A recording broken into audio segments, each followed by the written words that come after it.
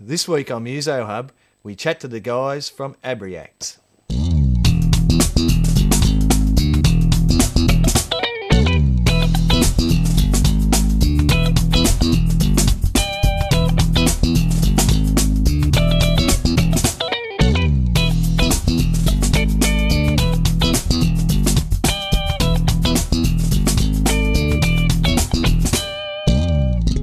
Welcome to Muso Hub. This week we have very special guests in Studio G, and that's Abreact. Welcome, guys. How you going? Now, if you'd just like to all introduce yourselves um, and what instruments you play in the band. Uh, I'm, I'm Matt and I do the vocalist and I've uh, only been in the band for a few months but um, enjoying myself already. G'day, I'm Chris. Uh, I play bass. I'm Tim. I play the drums. I'm Lee. I play guitar. I'm Well done, guys. Now, just uh, wondering if you could um, work your way along, just telling us how you uh, got involved in music. How, what was your first interest in music? It's a long story for me to tell. I was just saying to Lee before at breakfast that the first CD I ever bought was Frog Stomp. So that probably set the tone for how things were going to end up. But um, I don't know, for me, getting involved in music myself, it was watching my friends in bands playing shows um, i- in the city, places like the Art House, and, and watching bands travel through from from different states and just wishing that, that I was doing the same thing. And, and eventually, uh, after mucking around in a few bands that did nothing, um, started a band called Half Mast, and and we we did alright for a couple of years, and uh, and these guys ended up looking for a vocalist about uh, six months ago now, maybe less, and um, I was just in the right place at the right time, and here we are. Uh, yep. Um, the reason that I got into music's pretty easy, pretty simple. My father had a, a PA and a guitar and some other equipment set up in the lounge room when I was really young, and I wasn't allowed to touch it. So that's why. Yeah, and it went just went from there. Um, and then um, got a Pink Floyd CD, or it was a tape, when I was quite young. That was it. Done. Um, well, my dad's always played drums, so I grew up around the drums. I did actually want to play guitar as a kid, but had an accident and fell off my top bunk and landed on the guitar and shattered it. So then I just decided I'd take up the drums, care of dad. So he taught me the rudiments, and then I taught myself from there. First CD I bought, I think, was also Frog Stomp. So that was obviously going to have some sort of bearing on where things went to. Yeah. So that's about it. I decided to play guitar when I saw Thunderstruck by ACDC on television in 1990.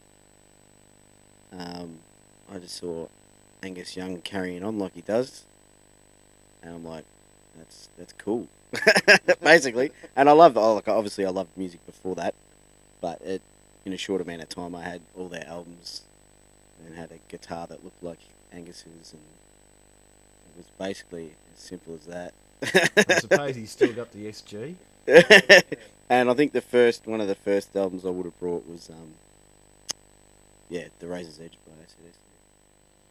Okay, could you just um, run through how you got together, how Abreact formed?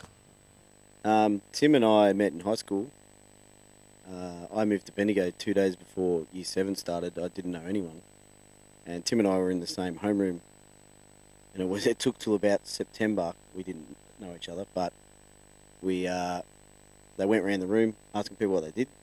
Tim said he played drums. I'm like, oh, hang on a minute, I've got to talk to this guy, and um, we started playing together then.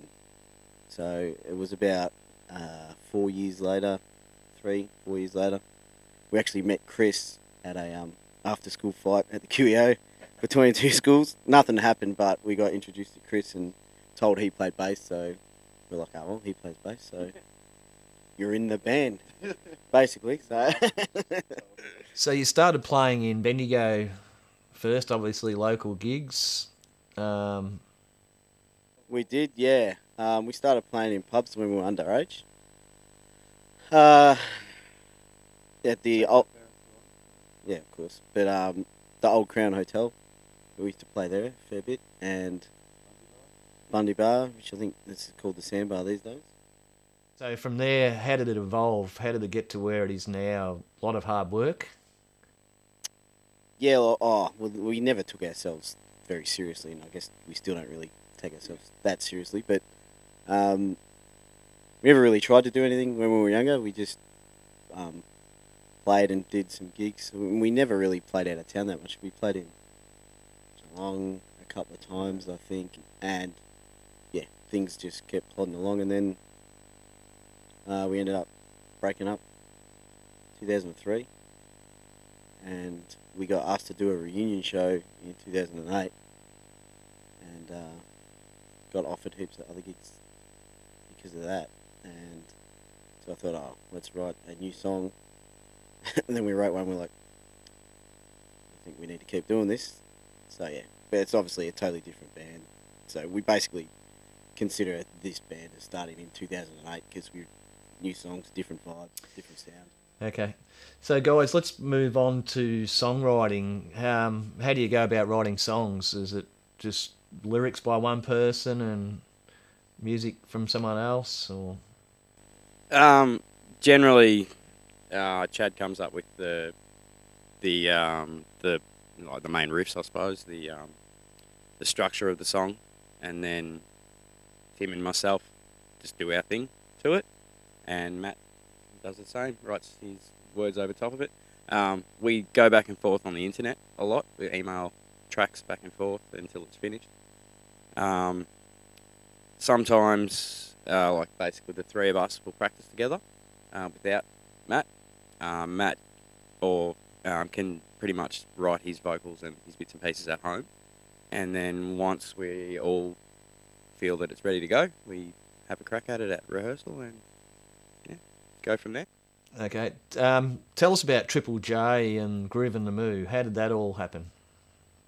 Um, we uh, we managed to get a bit of luck through the Triple J Unearthed website. Um, managed to get some attention from people that worked at the station, and um, Groove in the Moo was actually a competition that they ran on the Unearthed website, and being that we had tracks uploaded to the website, we're automatically in the running. Um, I think we were just lucky that with Groove in the Moo that it was Bendigo locally, so you know of Bendigo bands, I think we we're probably just doing the best at the time. So, So, where where to from here, guys? Uh, have you got any big plans for the future? What's your next step? It's a good question.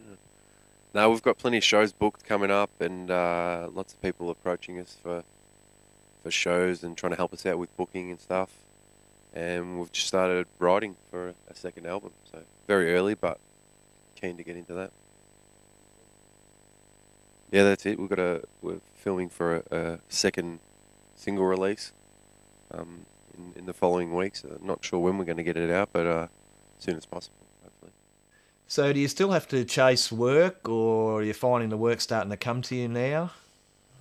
It is starting to come to us, yeah. There's um, but it's only paid off through through Lee's hard work of uh, networking over the years. You know, just uh, just emailing and being friendly as hell to anyone and everyone that you can. Um, how can people find you? Is there a way they can uh, check up when your next gig's on, etc.? Facebook or web page? Well, we do. We do have our own web page, but obviously the Facebook, we're always posting when the next shows are on. You do the events and you invite all your friends to them, and that's basically the simplest and easiest way to see when we're playing next and where. Okay, guys, we might uh, wind it up there. Um, that's about all we got time for, but thanks for coming in. And uh, that's the end of our show. But as usual, we have a video clip to play. And uh, this week, obviously, it's the guys from Abreact. And I'll let them introduce it. See you next week. This song's Bomber. It's our first single release and first video clip release. It's a nice uh, charcoal animation done by Kane White, and it's turned out pretty well. Hope you enjoy it.